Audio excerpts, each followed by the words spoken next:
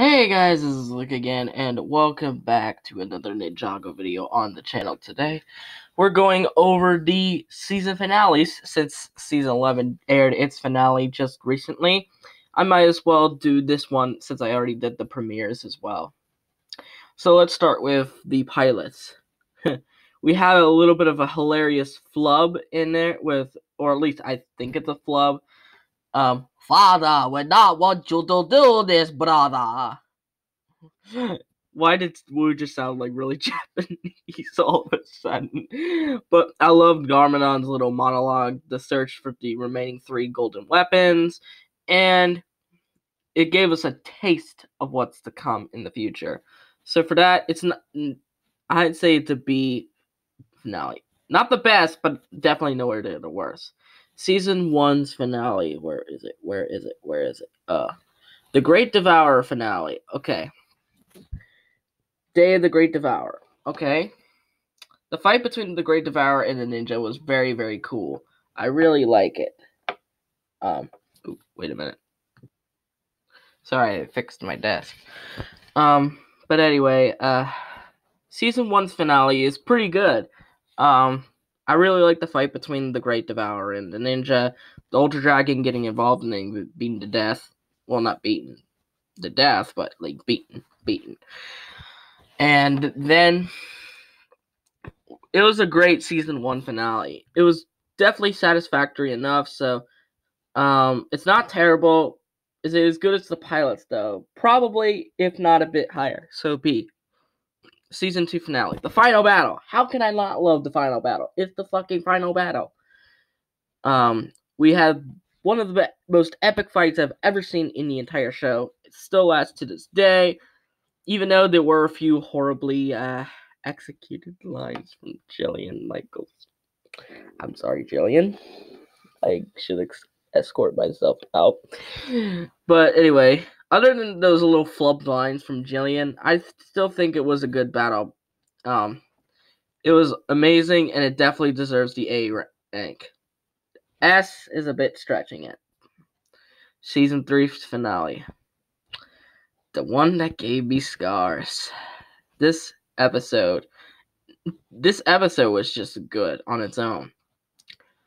I really, really love this finale. I love this finale to freaking infinity and beyond.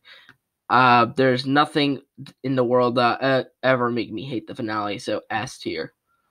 Season 4's finale, which was Garmadon sacrificing himself to to go to the cursed realm. I like this idea of Garmadon going to the cursed realm. Um, the only bad part is we only got to see Sensei Garmadon for two seasons. I don't really count season five since he only appeared in like one episode of season five. Um, but we only got to see him for two seasons, and I really wish we could see him more. Um, and uh, I really like this finale. This finale was really good.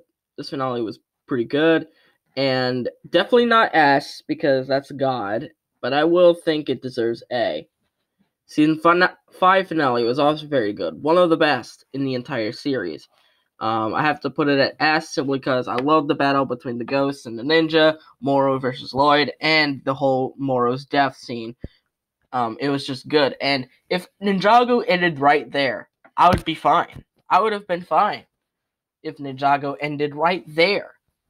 It would have been an amazing end to the season, to the series. of course, we had to come to this point. Skybound's finale. It's terrible, stupid, a slap to the face, and a slap to the face and a middle finger combined to every single non-Jaya fan, Ninjago fan out there. Stupid, stupid, stupid. I'll never love that finale. Season 7's finale is a very good one. Very good one. Not I like the whole idea of Wu getting lost in time but that kind of remains gives the question of if Wu can escape, why can't the Time Twins escape? Maybe the Time t- we'll see more of the Time Twins in the future, but I don't know. So I really like this finale. The battle seemed kind of lackluster in a few parts, so um, I'm contemplating B or C. Is that playing tonight here? B or C? Hmm. Uh, B or C. And I mean, it was a pretty good setup for Sons of Garmadon if there were more Hands of Time references in Sons of Garmadon. So I'm gonna put it B for now. I might change it later. Sons of Garmadon is an okay-ish finale. It's not the best. I I truthfully feel that the finale wasn't the best thing I've ever seen. It's definitely nowhere near as bad as Skybound's finale. Definitely nowhere near as bad. But the problem is, is that the Sons of Garmadon were not the right villains to defeat the ninja. It made the ninja kind of look pathetic, to be honest. Sure, it was an unexpected twist, but if it was just Garmadon alone defeating the ninja, then yeah, I would find it to be a truly shocking moment. Even if I truly think he didn't deserve it because he only came back like two episodes, like an episode or two prior to this finale, and it just didn't seem believable to me at all. Then we have Hunted. Hunted is an okayish finale as well. I would say C, mostly because I don't don't think a villain um with like Garmadon deserved to get arrested. And I mean, I do like the idea of calling back to rebooted with I cannot fight you, but I can resist you. But the fights were kind of eh ish to me. It's not the best thing I've seen. The endings. A lot of people don't really care, don't really like this episode, but I personally think it's pretty good. I like the whole Oni, the Oni coming back. Yeah, sure, it was very rushed. It was a rush finale, but that doesn't mean it's bad.